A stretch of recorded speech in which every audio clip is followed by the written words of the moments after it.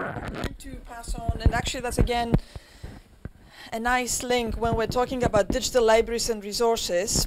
Uh, Professor Paul Clough from Sheffield, he's working with information retrieval. So I asked Paul to come because I was conscious when we had this thing in the balance, we haven't done that much about digital libraries or digital resources or things online in cultural heritage where an awful lot of us are working with or even developing, and what can we actually do in terms of evaluation? Um, most times remotely, okay, you can do your in-depth maybe focus groups, but what can you find out about what people are doing with this kind of information?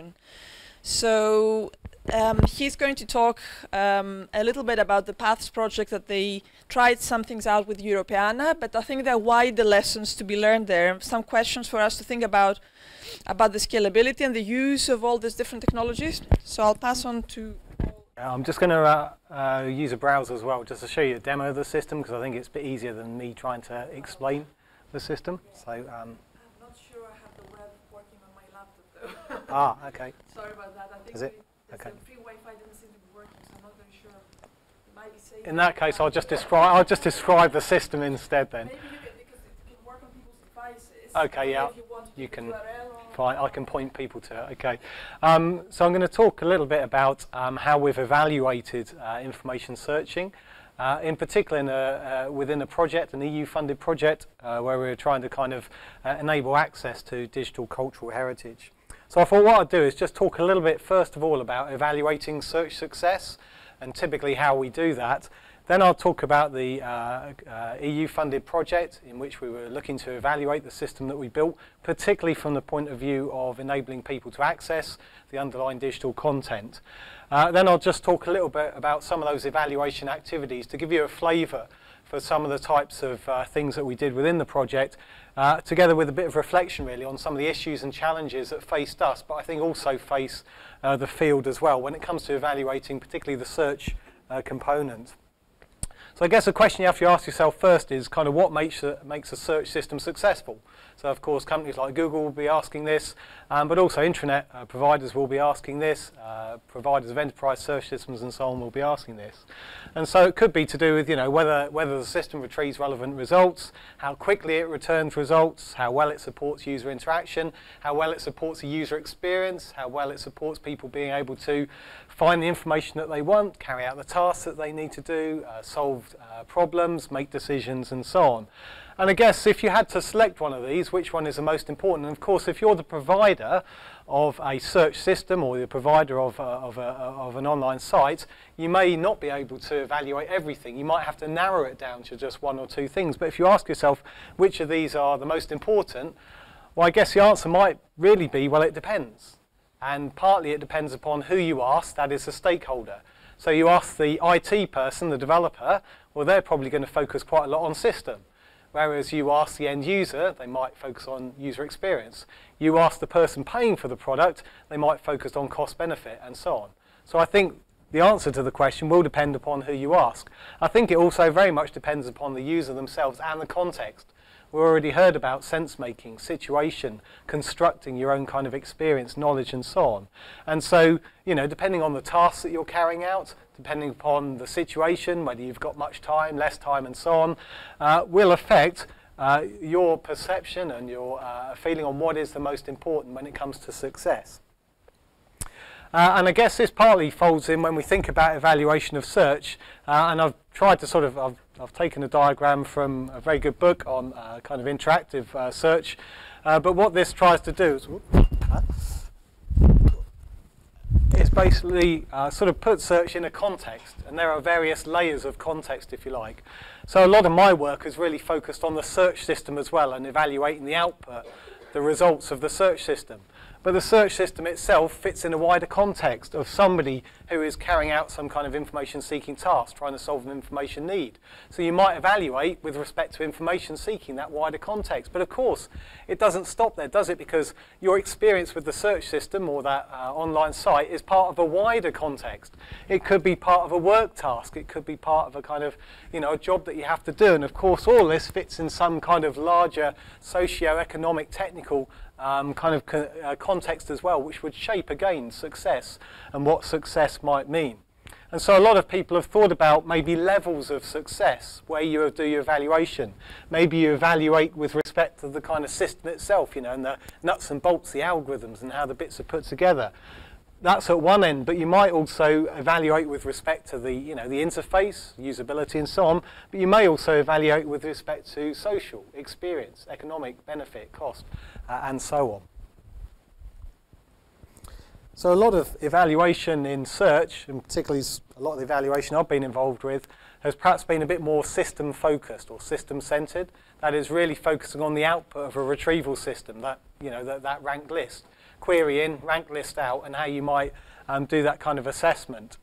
Uh, so evaluation criteria might be things like retrieval effectiveness, how many relevant items do we have in the top 10, the speed of response, and that kind of stuff.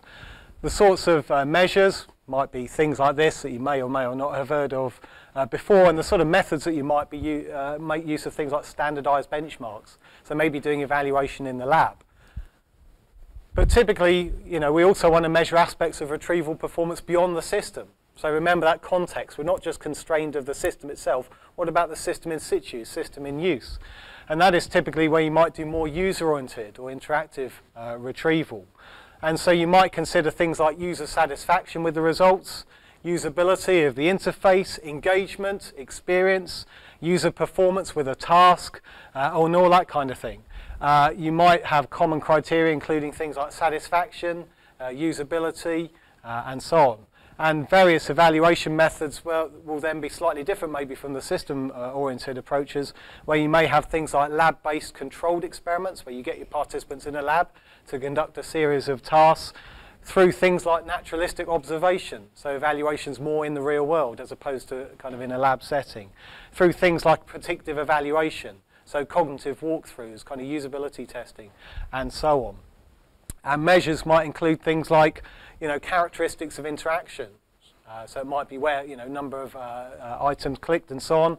Performance measures, things like number of saved uh, documents, or subjective measures. Ask people to rate usability, the experience, and so on. So there's a whole range of different methods that could be used, both from a system perspective and a more user-oriented perspective.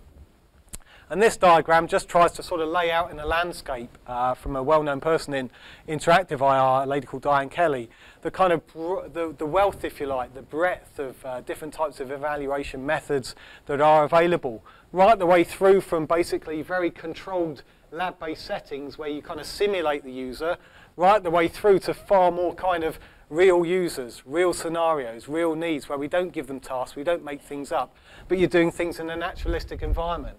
And of course, this is important because at this end, things are lovely and controlled. Uh, we have uh, variables, independent and dependent. At this end, it's a bit of a mess. It's the real world. How do we know what's affecting what? How do we know what's affecting success? An evaluation will lie along, you know, this uh, kind of, you know, uh, set of activities somewhere. And it makes it just very challenging, certainly on deciding what to do in terms of evaluation setup, but also whether you control, whether you have something a bit more unconstrained naturalistic, uh, and so on.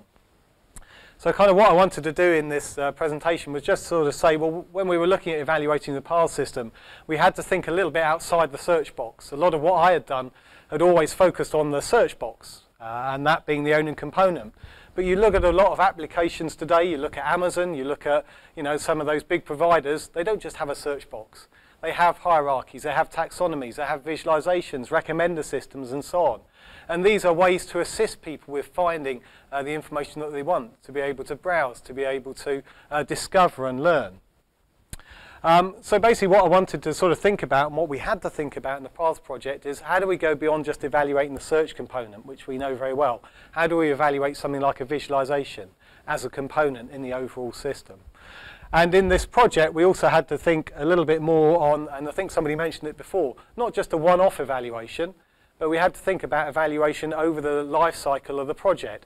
That is not just evaluating, say, the browse component, say a hierarchy on its own, which we would have to do if you're developing it, but what about when you put it together as an interactive prototype? How do we then evaluate that?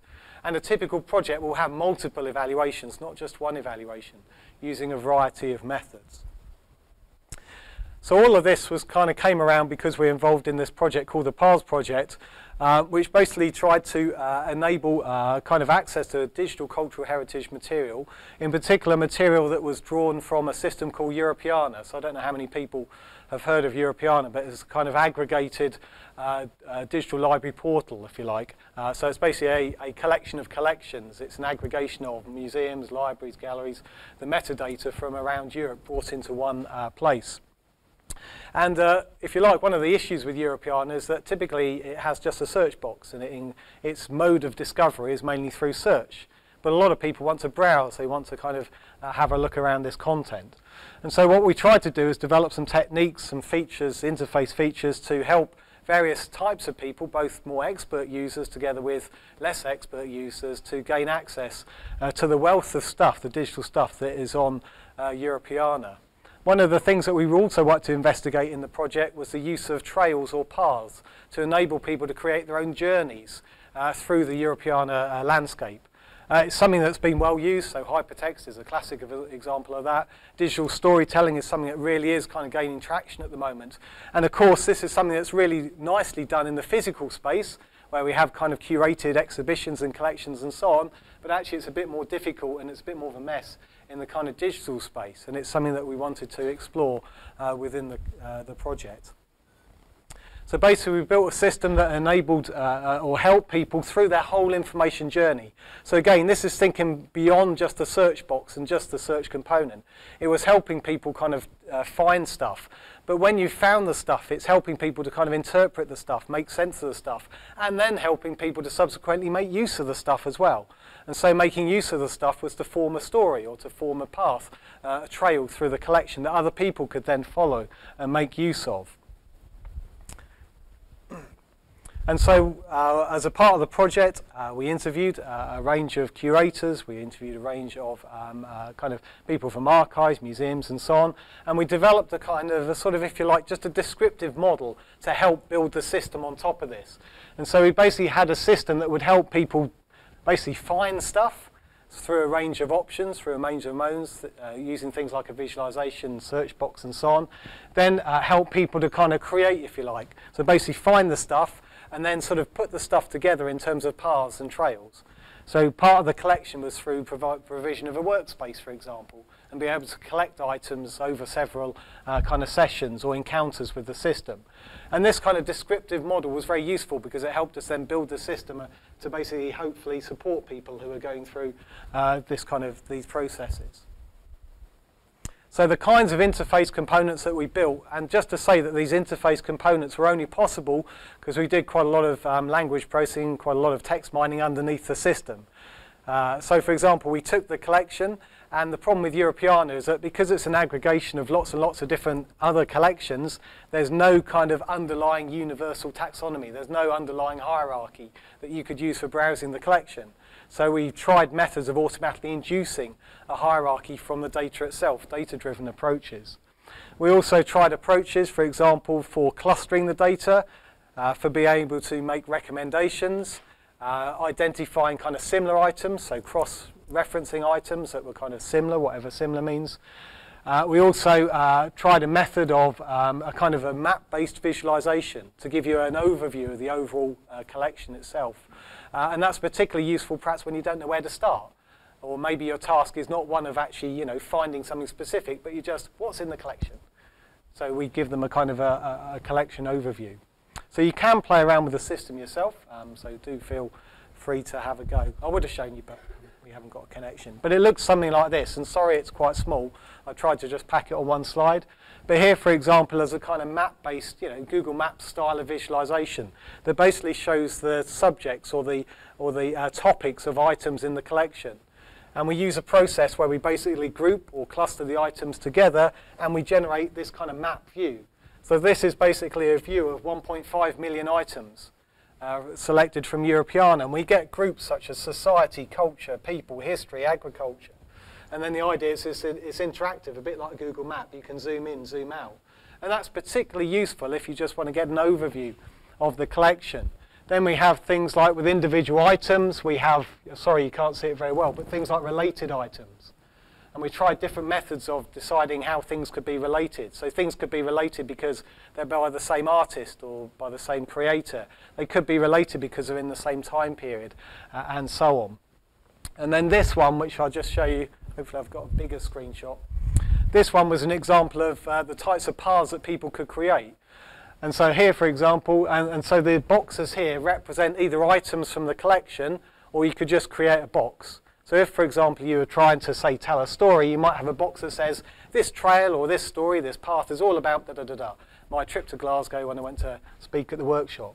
And so this path is about architects, uh, and in particular um, architects from Glasgow. And then we have people like Charles uh, Mackintosh, and then and so on. And so what's quite nice about here is that unlike a sort of linear path, which is often what you see in a lot of uh, existing sites, people could basically sort of move things around and create almost a mind map where you could have branching and so on. And so this was an artifact which was then sort of, you know, could be used for, I don't know, guiding other people, could be used for um, learning, teaching, and so on. And what's quite nice is that we did an analysis of this, and actually when you give people the functionality to sort of branch out and do interesting things, they are quite creative. Some people do things or, or paths that are quite linear, other ones created quite sort of interesting structures. And these become useful in terms of uh, uh, aiding people, guiding people through the collection. But then the challenge for us is how on earth do we then evaluate all of this? So here are just some of the evaluation activities that we uh, carried out. So PATHS itself as a system, uh, like most systems, so unlike uh, some cases where you have a system and you're doing evaluation with a working system, uh, we, we built a system uh, from scratch. And we went through a process of kind of requirements gathering, prototyping, uh, evaluation, and kind of repeating that in a fairly iterative fashion. But I think what was interesting about this from an evaluation point of view is that because we had all these different components, and because we were kind of, you know, sort of spread throughout Europe, somebody building the uh, recommender system, somebody else building the kind of map and so on, everybody was evaluating their own bit. And so in a sense, that gave us a bit of a challenge because normally I only ever did evaluation of a search box. How, how do you evaluate a recommender system? How do you evaluate a data visualization? And so what we ended up doing was sort of going into these fields and using their well-established evaluation techniques. And that is what I mean by sort of thinking outside the search box. In terms of evaluation, particularly of the components, we had to go outside our normal kind of search box mentality of doing evaluation. We had to learn from these other fields. And so we had basically evaluation carried out of components. This happened before we had a working prototype. So that's before you can start sitting people down in a lab doing user evaluation. So that is, these types of evaluations are important, particularly from the developer's perspective, okay, if you're developing, say, a recommender system. So we had evaluations that were carried out by individual researchers building the algorithm. What's the best algorithm for re making recommendations? Do that in the lab, site, and then once we've decided, we put it into our working prototype. We then had people who were focused on building the system architecture and those, those guys were doing, and, and, women were doing evaluations that were more kind of, you know, what software developers do. So testing things like integration to components talk to each other. What about speed of response and so on. That evaluation is quite different from the sort of uh, evaluation an academic does, building research component, which actually was quite different from the evaluations that were then being carried out by the UI people.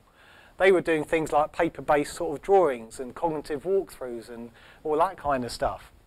And that actually was then quite different from the types of evaluations that we, were then carried out by so-called end users. And we had various end users. We had kind of controlled lab-based settings, which are normally students, as our you know, prototypical uh, end user. But we also tried to branch beyond the student and do some field trials in a more naturalistic setting as well, where we had other types of user using the system. But this does present a bit of a challenge in terms of the diversity, the range of techniques, and how you bring all this together. How on earth do you make sense of all this evaluation data uh, to know whether your system is uh, working uh, well or not? So this is just an example of the sort of thing that you might follow, a sort of protocol you might follow for something like the lab-based experiment. And uh, again, I can, I've, there's a few references at the end where you can kind of have a look at these uh, in more detail. So in terms of issues and challenges, uh, I think there are lots of issues and challenges that face you when you're kind of thinking of these types of interactive systems, which I think are becoming more um, kind of uh, uh, uh, available now.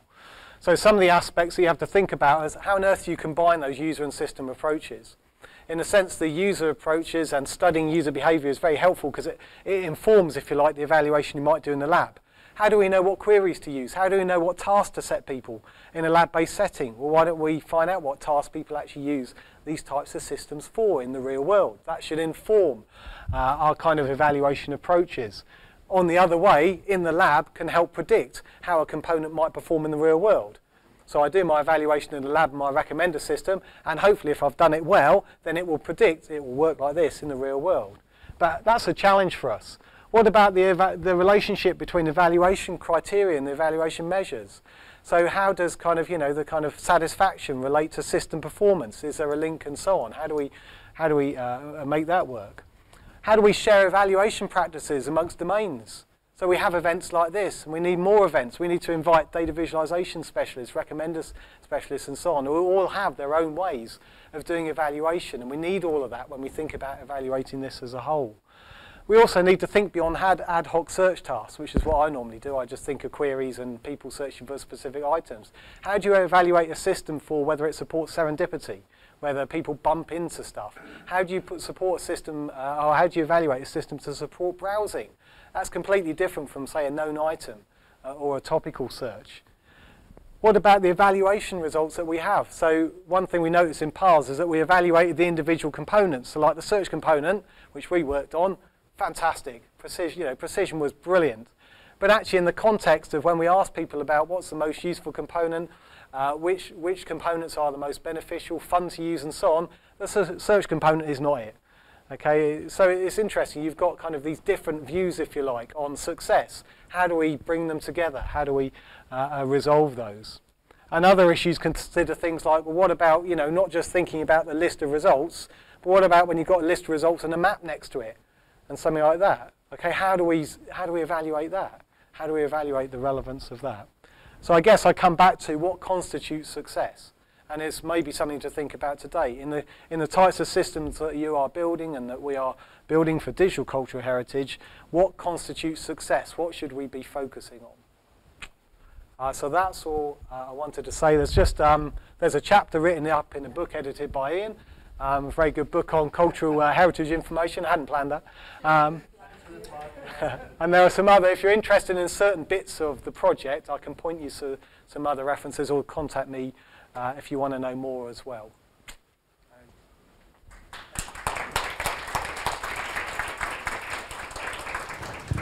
Thank you so much for wrapping, I think, very nicely and leading on to the conversation afterwards. And in fact, I think the questions were probably just what Paul himself kind of put out there without necessarily answering them, but it all depends on what is success really. And I think this is very nice to frame the discussion afterwards. I had kind of, um, I'll take first from the room, but I just had a small um, question about which, from all the things you tried, was there something clearly more useful than others?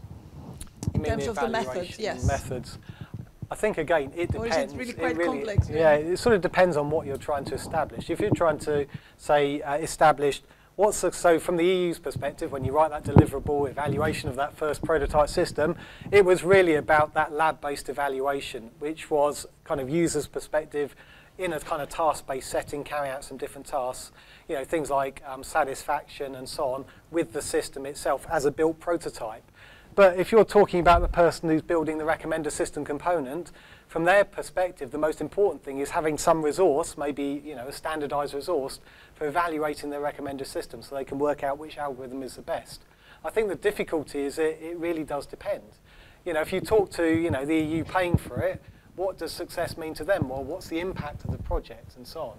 So again, I think it's quite hard to say what's the best, but I do think the kind of probably lab-based evaluation which took into account the whole prototype was probably the most informative for us, I think.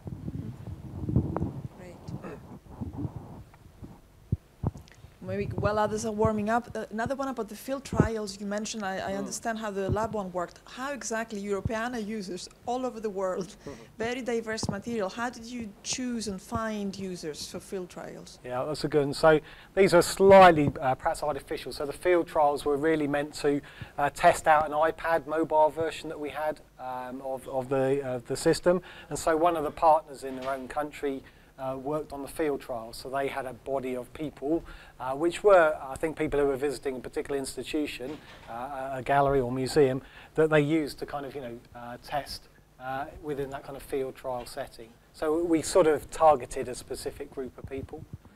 Um,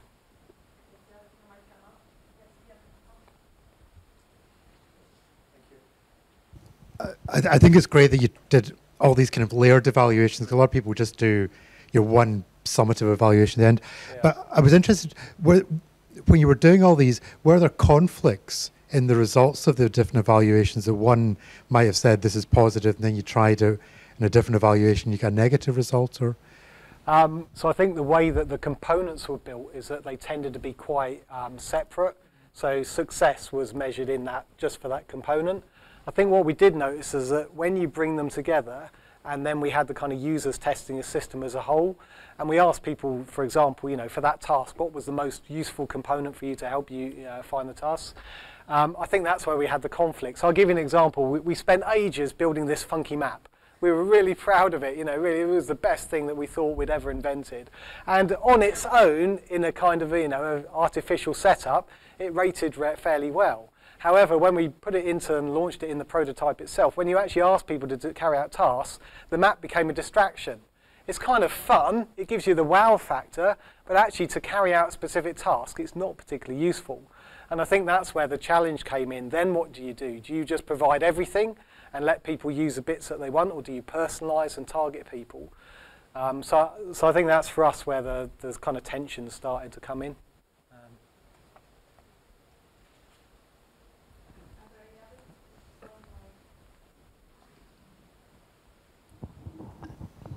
Thank you for this. I mean, it, I think it might be a bit of a left field question, uh, given that it involves Europeana.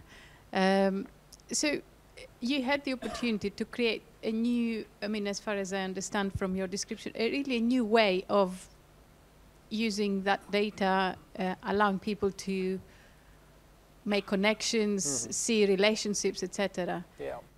Was there any, let's say, ideological kind of pretext in the way that you would allow users to do that, which is mm -hmm. different to what uh, Europeana's kind of motivations were? It, does, you, does the system embody uh, or um, kind of bias, but not in a negative way necessarily, a certain way of looking at the data. And um, our system or European? Your system. system. Um, so it does in the sense of we tried playing around with various mechanisms to kind of do things like vary the results that are presented. We tried things like, you know, creating these trails, which would be kind of a guide. If you don't know what's in the collection, well, just have a look at a trail, maybe a trail about World War II or something. These are items that somebody thinks are interesting or, you know, as they've told a story of them. So in one sense, we are biasing people towards, you know, those types of um, uh, kind of artifacts. Um, but I think it's difficult because one of the problems we face with Europeana, particularly when it came to testing, is that because it's such a mess of stuff, if you like, there are some items, some collections that dominate. So, for example, we found that there's about a third or yeah, it probably is about a third of the collection are coins from a large coin collection. For most users that we had in the, the, the, the, the kind of testing, it's really dull. The results are the most uninspiring that you've ever had. And so what we had to do is sort of deal with some of that by kind of diversifying the results, by sort of mixing them up a little bit, by doing clustering and presenting people clusters rather than individual results. So in a sense, from that perspective, I guess we were also um, sort of messing up, biasing the results, but from the point of view of just engaging people, otherwise they're going to be completely turned off, which has a negative impact on our evaluation. Because then people rate the system as poor because the boring content, as opposed to maybe some of the features that we've implemented. So there is a certain amount of bias we introduced.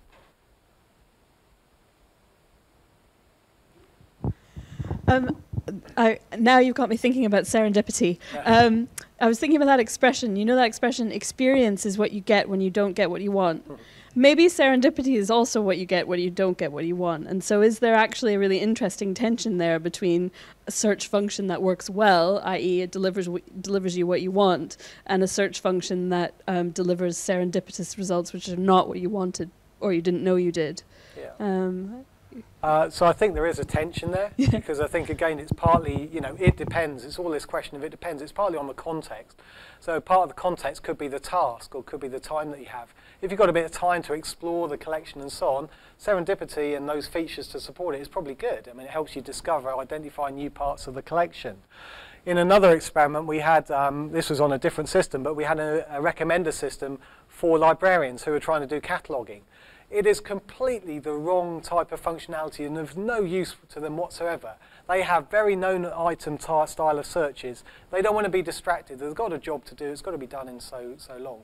So again, I think there there is a tension in terms of partly it's understanding that context about what's the appropriate types of features, functionality to inject.